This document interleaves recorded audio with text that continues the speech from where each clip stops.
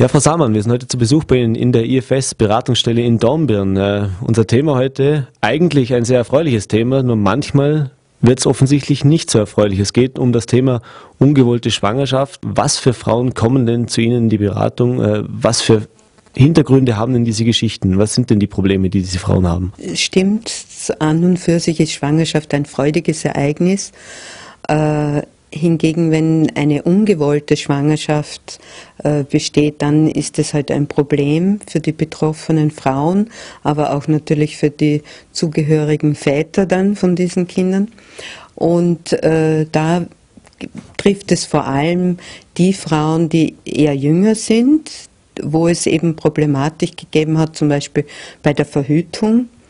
Äh, die Verhütung ist nicht so einfach, wie man denkt. Es sind zwar viele Erfahrungen da, was man da alles äh, anwenden könnte, damit eine ungewollte Schwangerschaft äh, verhütet wird, sozusagen.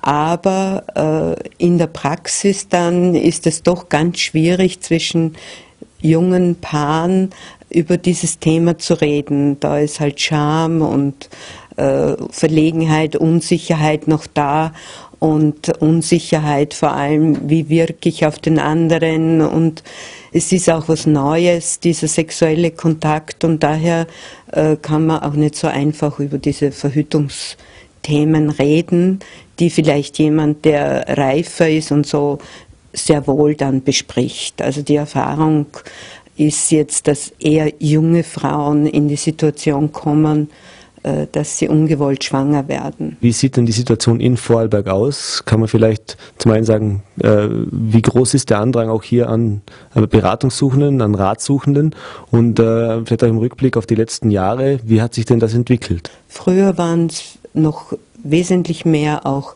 ältere Frauen, die jetzt ungewollt schwanger wurden und Beratung gesucht haben.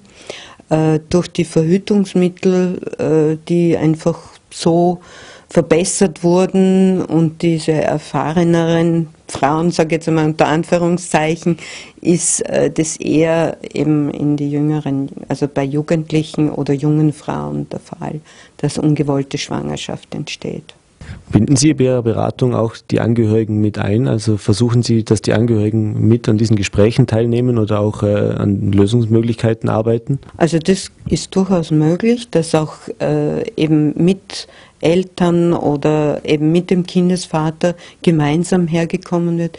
Das ist sogar vorteilhaft, weil das ja noch eine Erweiterung bringt unter Umständen von den Möglichkeiten. Was können diese Frauen denn tun? Also wo können sie denn hinwenden und vor allem welchen, welche Möglichkeiten haben Sie hier auch, diese Frauen zu unterstützen?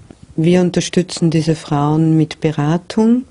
Äh, sie können zu uns an die Beratungsstellen kommen, die in jeder Stadt Vorarlbergs und in Eck äh, sich befinden, also ziemlich äh, übers Land verteilt.